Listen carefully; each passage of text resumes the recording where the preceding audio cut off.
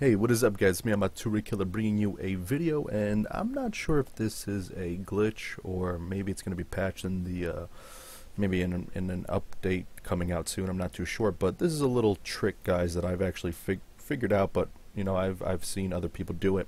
So for example, if you want your reach to be higher, right now I have a 71 reach on my middleweight and I think you go up to about um, 78 or 79. I'm not too sure what the maximum reach is. I didn't try. But there's a little trick to actually make the reach go higher.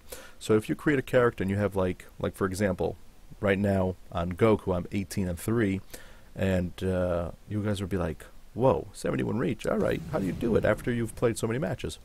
So what you got to do is you actually have to back out into, uh, you got to back out into the, like the main section of your fighter, and then you need to go to appearance. Now this is the this is the important step. You need to then go down to save and exit and just press yes. Because if you press circle and then yes, you're not this is not going to work. So for example, this can either go up or this can either go down. The lowest I think it could be at is 70 because I've had 70 as my fighter originally came out. But what I noticed is um, I did it once to, for you know, to try it out, and it went up to 74, and I was like, oh, I should keep it. But then I just retried to uh, get a better and higher one, and ended up going down to 71. So what you do is check that out. You just go to Ultimate Championships, then go to go Fight Now, and then you go to Start Fight, and then, for example, actually the lowest is 69. It's going down. So you see, it was at 71, and I went down to 69. So I'm going to keep doing it. I'm not going to, of course, show you guys because that's just going to be boring. I'm going to keep doing this until it actually uh, gets to a high number, and then I'm going to actually cut it, it, cut it in.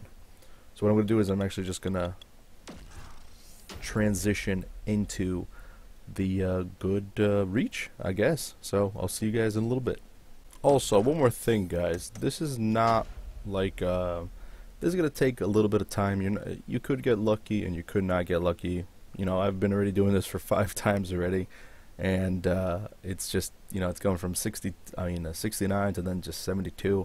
So it takes patience. So like if you guys want, you could just can keep doing it until you get it, or if not, you just you know you get a high 70s or like 70 mid 70s, and then you just leave it at that, and then go back to it in the uh, future and do it. All right, our goal is about maybe 75 ish. 75, I think 75 would do. Come on. Ooh. 74.